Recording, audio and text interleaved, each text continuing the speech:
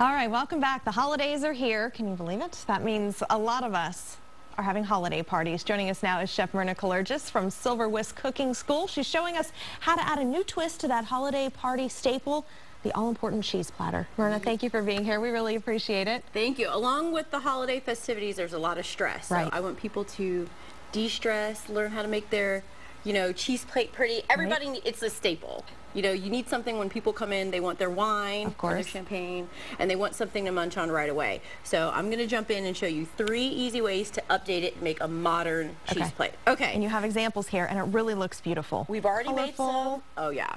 It's colorful. Very so important. let's start with this. These are going to be our little mozzarella bites. So okay. this was some fresh mozzarella that I just went and cubed, okay, okay which is really, really nice and easy. We're going to kind of give it a teeny bit of a slice. Okay. These are sun-dried tomatoes. You can oven-dry tomatoes too if you want. If you set your oven at a really low setting for like three to five hours, okay. you can do it yourself. Add some nice color too. We have some fresh thyme right here. You could also use some fresh rosemary. These mm -hmm. rosemary Christmas trees are like all over the place. Smells delicious too. Right. So you stick it right through the sun-dried tomato mm -hmm. and through the mozzarella. Look how beautiful that, that is. very pretty. And you can drizzle it with some um, olive oil, some balsamic. Okay. So that's our first one. Now we're going to do our little spin on the truffle. Okay. okay?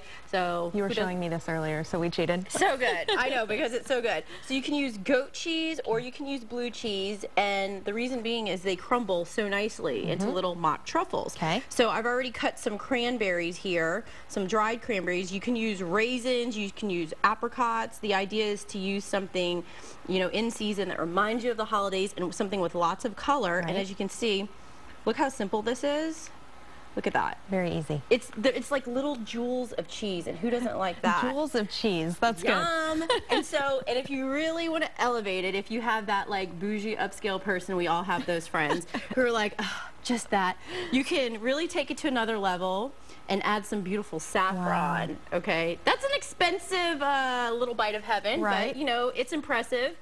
Put that right on there. And then of course you always want to have apples and pears. If you do use grapes, we were talking about this before, right. use frozen grapes. Right. Because you know, if we're sitting here drinking our champagne, eating our little cheese ball, and I'm like, oh, here's a grape, pop, squirt, it kind of kills the mood. Right. A little bit. Frozen so is good. Here's, now when does bacon not go with anything? Never. Okay. So not in Texas. So watch. This is a really cool idea to add to your cheese plate. Here we have some cured Chinese Chinese sausage. Okay. This is a mini ciabatta. And for those who are interested, we used an English Stilton blue cheese. Okay. okay. For those who are interested. All right. So when you take these pieces of bacon out right away, what happens is if you put cheese on them, the heat, the cheese will melt right into the bacon. Mm. I know. Like you need to do anything more to bacon. But and That's then you it. can add. You put it on the plate now. Right, you can. We're gonna add some fresh ground black pepper to that cheesy melted bacon. Okay. Okay. Then watch this. Add some height. Add some dimension to your cheese plate. Pretty. Look at that. That is gorgeous. And the last thing wow. I'm gonna do, okay, is get a plain goat cheese cheese log. Okay. Okay. Really, really nice. Get some nuts. Look at this. Roll and just on. roll it. Just roll it. Okay? Looks very fancy. We're talking about cheese, okay? So roll